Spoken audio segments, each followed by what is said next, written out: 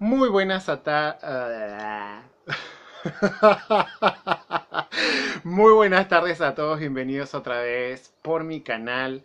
Hoy es martes primero de febrero del 2022. Estoy acá con mi ayuda memoria de mi teléfono porque quiero compartir con ustedes una experiencia que me pasó recientemente hace un poquito más de 48 horas eh, con mi teléfono celular y bueno, por ahí mi experiencia eh, les puede servir a ustedes en caso hipotético eh, se encuentren en la misma e igual situación. Ay, esperen que tengo. Ay.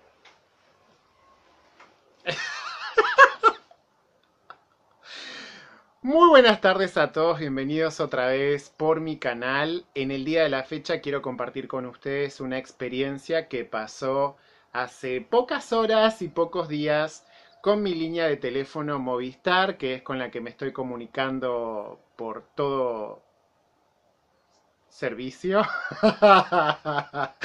con el mundo exterior, ya sea por trabajo, amistades, vínculos y demás.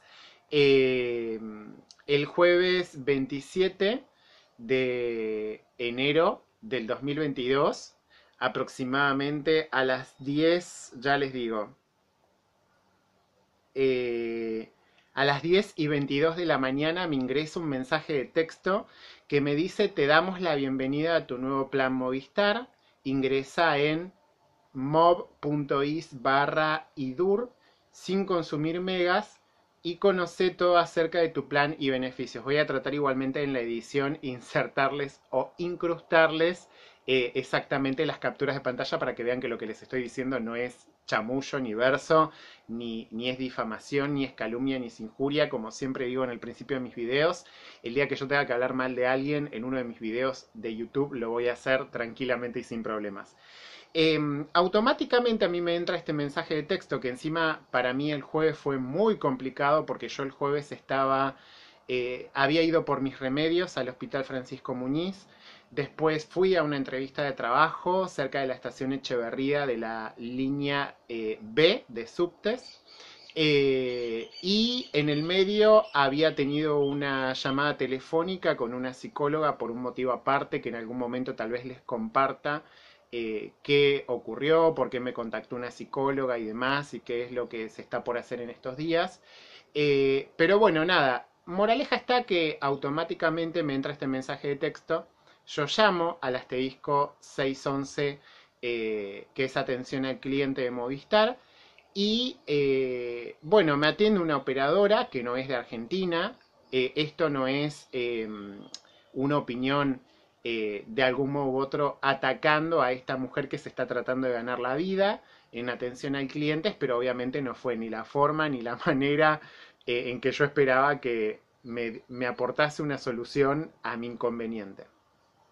Entonces yo, ni bien eh, me entra este mensaje de texto, me comunico telefónicamente y le pregunto a esta mujer, bienvenida al nuevo plan de qué, porque yo que sepa, mi línea es prepaga, es decir, a tarjeta, yo no tengo abono, nunca me llamaron para ofrecerme un abono, ni mucho menos yo me comuniqué con Movistar a solicitar que me, me ofrezcan o me instalen un abono, un plan, o viceversa, nunca se comunicaron conmigo para, para tratar de ofrecerme este beneficio o, nada, para, para, avisarme qué iba a ocurrir con mi línea telefónica.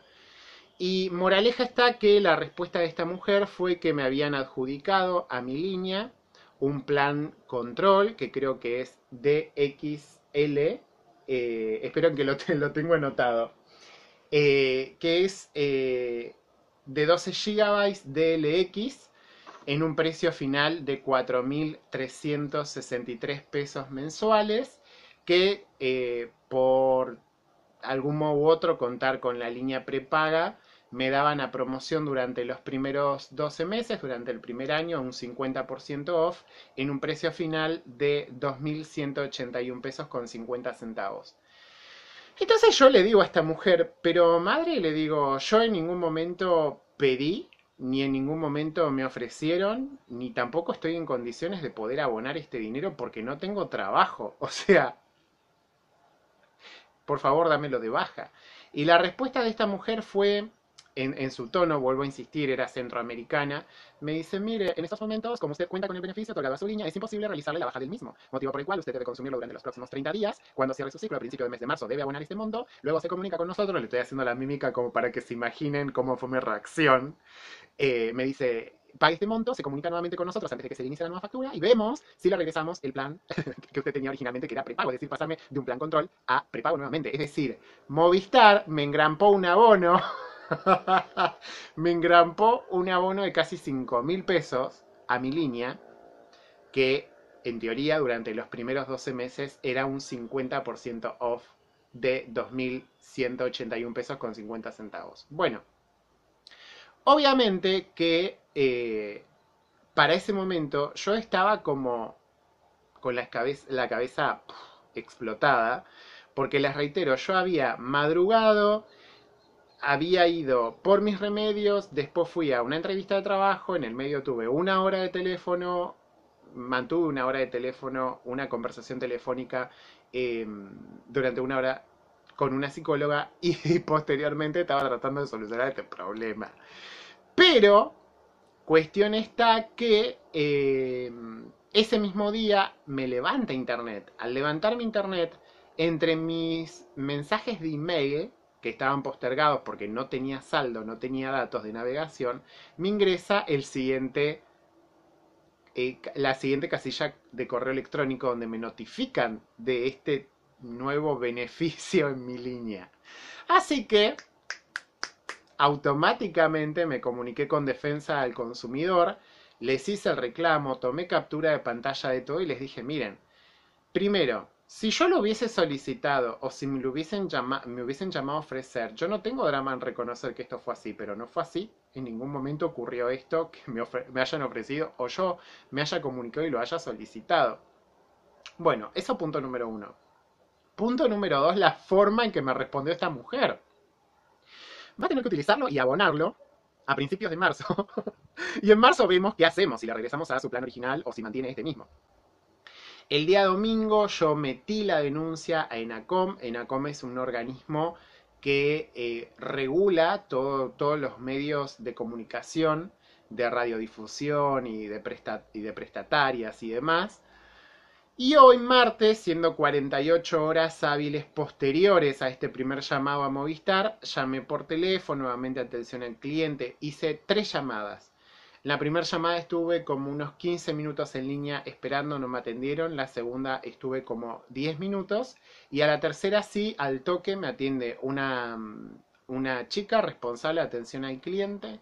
Y le digo, bueno, madre, mirá, pasa esto y esto y esto y quiero que me tomes el reclamo, le digo, porque yo va a llegar marzo, no estoy en condiciones de poder pagarlo, de poder abonarlo, eh, y necesito que me den de baja este, este, este plan, control o este abono, que yo no solicité ni ustedes tampoco me ofrecieron. Entonces automáticamente me tomó algunos datos como para corroborar que realmente fuese el titular de la línea y me deriva al área de reclamos donde sí me atiende una argentina y la argentina entendió perfectamente mi situación. Movistar, buenos días, mi nombre es Laura. Hola, buenos días. Mira, estoy llamando porque pasaron 48 horas hábiles de un reclamo que yo hice por teléfono el jueves 27, aproximadamente entre las 11 y 5 y 11 y 10 de la mañana, y no tuve respuesta ni de Movistar. Igualmente yo ya hice la denuncia de defensa del consumidor y al ENACOM. Te comento, el jueves a mí me entró a las 10 y 22 de la mañana un SMS dándome, dándome la bienvenida a mi nuevo plan. Entonces yo llamo atención al cliente de Movistar para preguntar plan de qué, porque yo no pedí nada, es más, tampoco me llamaron a ofrecer nada.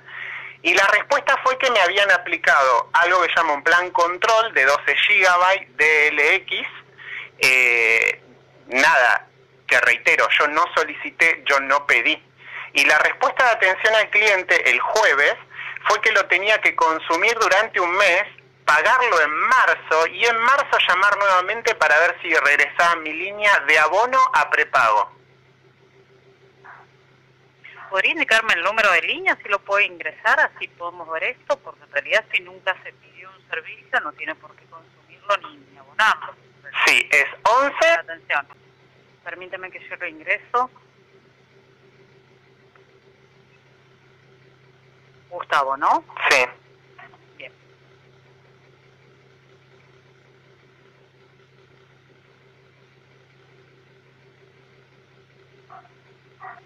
Que es más, la respuesta de la chica el jueves, que me atendió, me dijo, puede ser que por error usted haya tocado algo dentro de la aplicación Mi Movistar o un SMS, eso jamás ocurrió.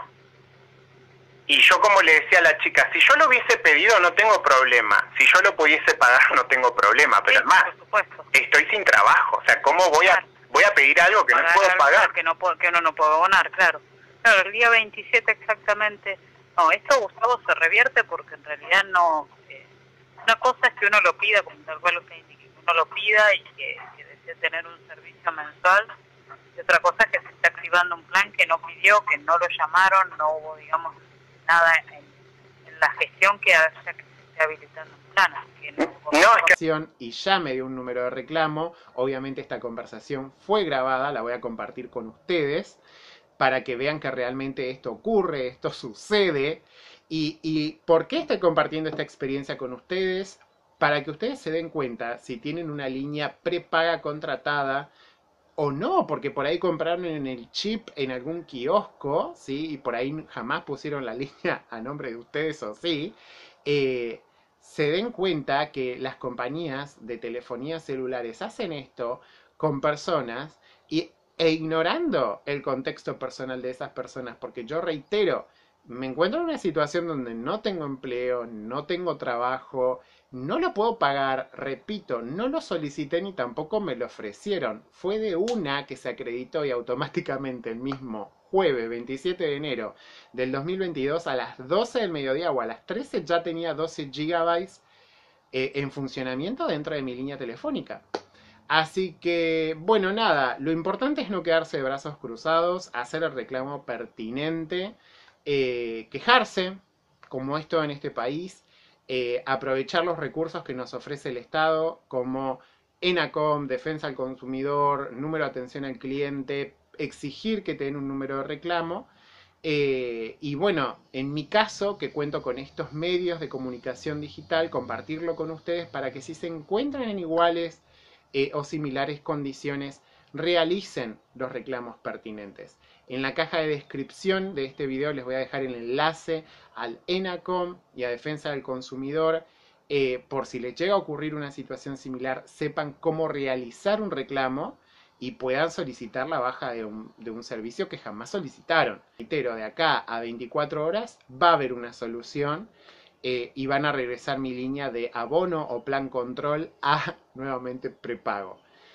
Pero bueno, hasta aquí las noticias del día de hoy. Si les gustó el video les pido que me regalen un me gusta. No olviden de suscribirse en la parte inferior del video. Es totalmente 100% gratuito. Eh, a ustedes YouTube no les cobra absolutamente nada. No olviden dejarme sus comentarios en la caja de comentarios abajo y de compartir el video. Muchas gracias a todos.